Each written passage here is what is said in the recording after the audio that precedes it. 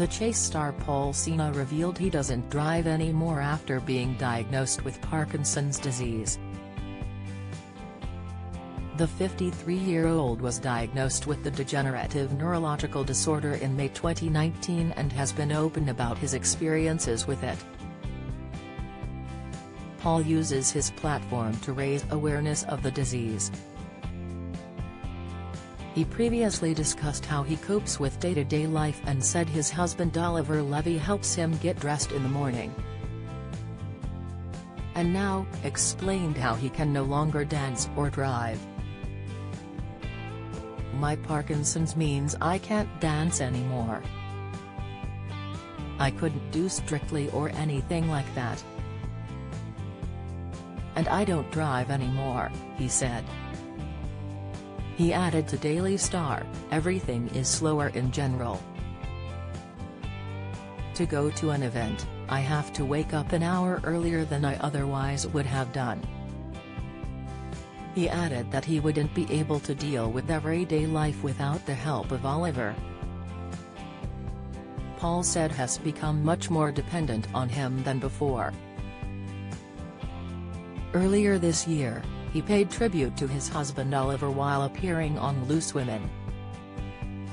Speaking to the panel, he said, Parkinson's Awareness Week, what we really want to get out there is that people present in different ways, don't stick with the stereotypes of what we have. The most difficult thing for me today was actually putting this shirt on. I have to wake up, find the shirt and then wake Oliver up and say put the shirt on for me. You can see that I am sitting here with my right hand not moving much, that's its default state. Everything you usually take for granted just takes longer. When panelist Kaye Adams asked Paul how he was, he replied, "I'm fine to be honest with you, I was diagnosed in 2019 which was a bit of shock to the system having spent two years with a troublesome right shoulder. But to be perfectly honest with you, COVID has been more part of my life than Parkinson's because Parkinson's is quite a slow process compared to a global pandemic, Paul continued. Follow Mirror Celebs on Snapchat, Instagram, Twitter, and Facebook.